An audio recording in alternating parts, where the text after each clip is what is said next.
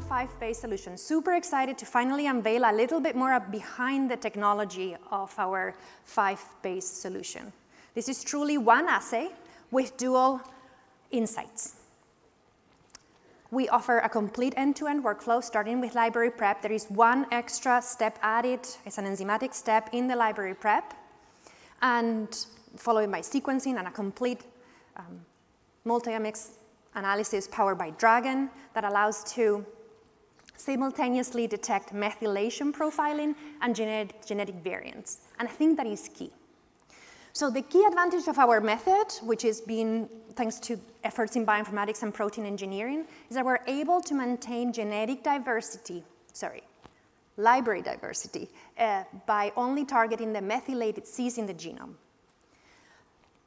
By doing that, we're able to call variants, single nucleotide variants, and other variants, and is compatible with all our platforms.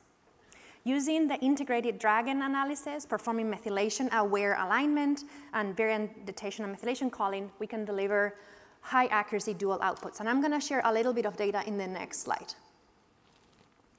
So our five-base technology delivers both high accuracy methylation detection, and you can see that on the plot on the far left for you, yes far left, where we have two controls, an unmethylated and an amethylated control, and the five-base solution has performance that is equivalent to the gold standards uh, enzymatic and bisulfite methods.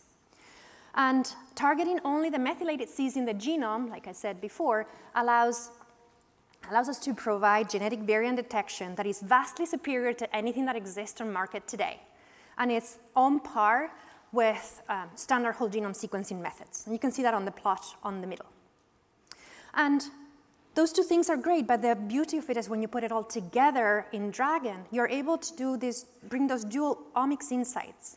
And in the example that I have there on the further right, you can see that you're able to capture interrelated effects, such as whether a variant is unmethylated and active or inactive. So you can see that in there. I think that is pretty remarkable. We believe that this method can replace traditional whole genome um, sequencing because it brings a whole extra layer of information into traditional whole genome.